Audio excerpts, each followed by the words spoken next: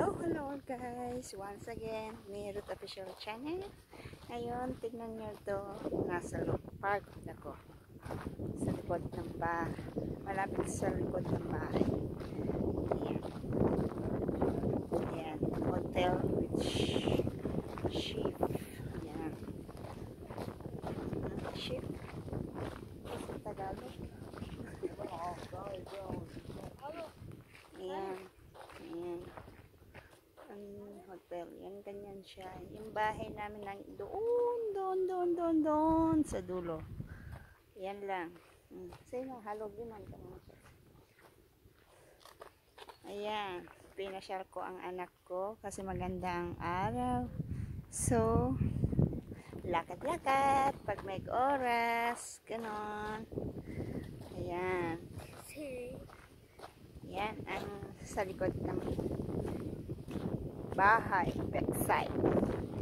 Ganyan. Yan siya guys. Ganyan lang yung sa likod namin. Nilalakad lang namin pag sa pa. Pag pumupunta kami sa city, ayan, Hotel Huxterhof. Yan. Ganyan yan guys. Ayan.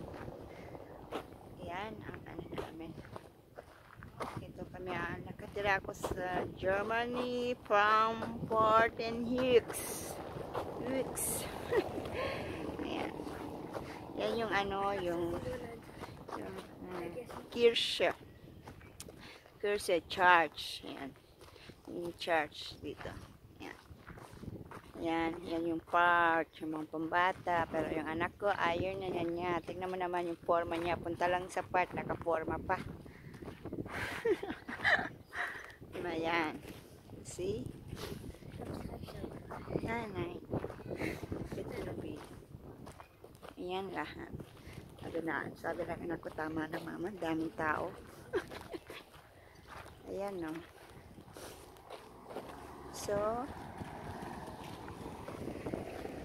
natin ang card. Ayan.